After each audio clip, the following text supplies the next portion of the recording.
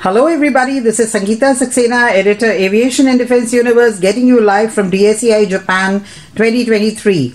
And we are here at Chiba, and who else but we have with us Randy Rotte, the Regional Director, India and Asia Pacific International Sales, Global Sales and Marketing. And he's here in Japan with an aim to understand and make us understand what it's all about. So, Randy, welcome to ADU's chat room. And what does it mean, you know, uh, Japan, DSEI Japan for Boeing? Well, Konnichiwa, Sangeeta, and everyone else out there, thank you so much for the opportunity to speak. Uh, wonderful to be here in Japan, especially for DSEI, a show that is seeing tremendous growth. Uh, if you look at the last time this event happened in 2019, compare it to now in 2023, certainly a bigger footprint more attendees uh, from both industry and the JMOD, uh, and you know other key officials here in Japan. Um, I think it's a reflection of first off uh, the three strategic documents uh, in Japan and what that leads to. I also think it's a reflection of the growth in Japanese industry. Uh, and also just the market size. Uh, I think it's really significant that in Japan, you know, they're talking about potentially doubling their defense spending, you know, from one percent to GDP to two percent, uh, and all of that I think has come together to really create a great opportunity here in Tokyo at DSEI. Uh, and I'm really going to be interested to see what it does two years from now and how much further growth they might have. I'm sure. And, uh, you know, just to understand, Randy, that Boeing has been here for 70 years, isn't it? So, what, what does it already have in Japan? What does it expect to have in Japan in the future? Well, it, like you say, Sanjay, a really, really decades long partnership here in Japan with Japanese industry and Japanese government. Um, Boeing, of course, having the the benefit of having such a large commercial business and defense business, and of course services businesses. Uh, I'll speak to the defense side, but before I do that, you know, tremendous commercial uh, partnerships that Boeing has out here in the region, especially in Japan. On the defense side, you know, we're really honored and humbled and also understand the responsibility that comes with so many Boeing products that the JMOD and the Japan ground or the Japan Self Defense Force has chosen over the past to utilize in their pursuits and their national security uh, you know concerns. So you have so many different products. You have F-15s that have been here for quite a while. Um, you now you have Chinooks, the largest fleet outside of the U.S. of Chinooks in the world. Uh, recent additions KC 46. Japan was the first international KC 46 customer. They have V 22s, the one international uh, customer for Boeing for V 22s. They have H 64s. They also fly some of our unmanned systems. So, a very broad and deep portfolio of Boeing products. Uh, again, makes us very happy to be part of that, but we also understand the responsibility that comes with that uh, to ensuring that those continue to provide the capability that they need. And what, is, what have you got to offer to them for the future then in that case? Well, a lot of it is uh, some. So some of these programs, like the F-15, the F-15J, has been on the island for quite a while. Uh, and as with other countries in the region, you know, having the good fortune of getting to work the whole Asia Pacific region, uh, F-15 is one of those legacy platforms that continues to evolve based off of technology uh, maturation, based off of threats that require us to invest and develop more capability. So, one of the things for Japan is upgrading their F 15 fleet. We're in the middle of doing that, working with the U.S. Air Force, working with the Japan Air Self Defense Force, uh, working with, you know, obviously Boeing and some of our industry partners to provide more capability for, for their F 15s, uh, similar to what we're doing other places. Same thing on Chinooks. Uh, you know, they are now going to have, they're looking at uh, the opportunity to upgrade that platform uh, to a, a, digital cockpit and some other capabilities.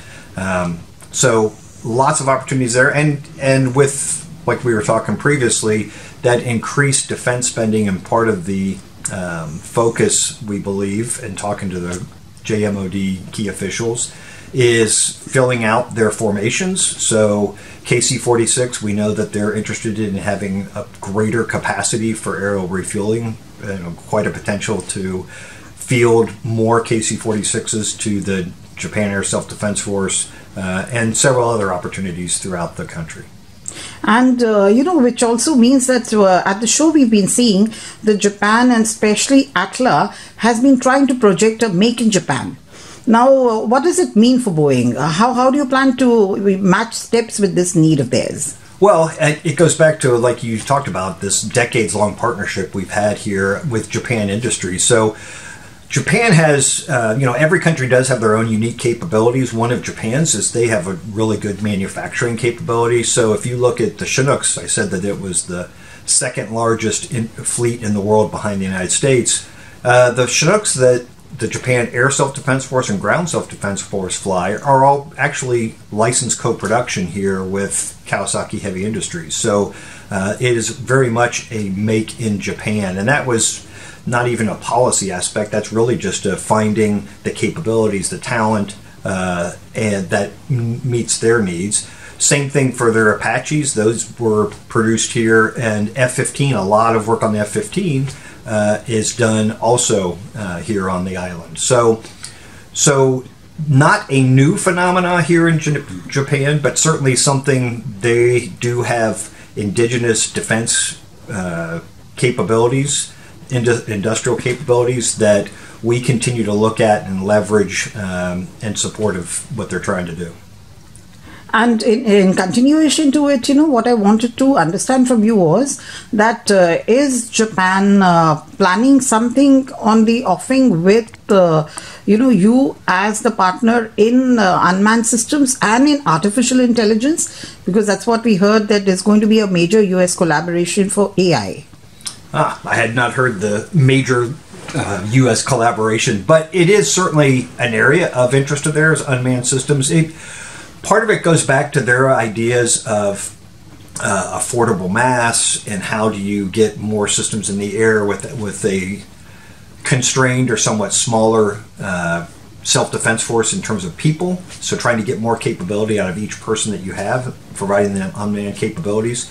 It is an area that has tremendous talent and opportunities with AI because uh, it isn't the original unmanned systems you know were unmanned but there were a lot of people you needed to actually operate them maintain them launch them do all that. Uh, now with the evolution of some of the intelligent algorithms behavioral algorithms that we are able to put into some of our unmanned systems trying to take the the burden off the other pilot ground operator whoever it might be uh, Japan does certainly, you know, is looking at that as part of their future, and that's part of the discussions we have at a show with DSEI is to have those conversations and try to determine what's the best path forward. Is there something that we can help with, uh, and if there is, then how do we shape that? And in addition to that, in continuation, what is the research and development, uh, you know, plan you have with along with Japan? Because Boeing in every country, it is, uh, you know, it has a R and D, uh, you know, plan. So what is it for Japan? So uh, part of that, a lot of that is on our commercial side. We have uh, some research and development pieces we do here. Um, on the defense side, we do have uh, R and D centers with Japan. Um, but most of it is really again working with those other industries that we have some of our partners on our other programs to see if there are areas that we can work together. Uh, it's not it's not really focused on a particular capability at this point uh, really just looking at um, finding those sweet spots of needs that they have that we can work together on and yesterday, when we were uh, in a chat with ATLA, there was uh, one little conversation which came up, which was that uh, you know companies like Boeing and Lockheed Martins could uh, you know make uh, Japan as one of their uh, very major you know places for producing for the world. Now, uh, will that happen sometime in the future where you are a market uh, not only for them, but uh, they create a market for their exports? I would love to produce for the world. Uh, but I mean, right now it's really focused on producing for Japan, like we talked about some of those other ones. Mm-hmm. Um, there's always that effort. Now, there are there are suppliers and people that we engage with here in industry that do provide for you know platforms that go throughout the world. They're not just for Japan platforms uh, that are then used on every platform that we make.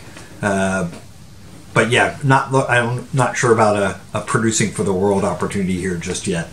But that's wonderful actually to hear all this right from the horse's mouth because then when you're at a show like this, there are lots of things which you are hearsay. And uh, when you hear these things, then you come to know that, you know, which is actually going to happen in the next few years. Randy, it was wonderful speaking with you. And I'm sure that when we meet at the DSEI Japan next time, you will have much, much more to tell us. I'm, I'm sure it won't even be that long. I seem to seem to see you on every continent, so I'm sure there'll be another continent coming. All right. Thank you so much, Randy. Thank you very much for being on our chat show. See you again. All right.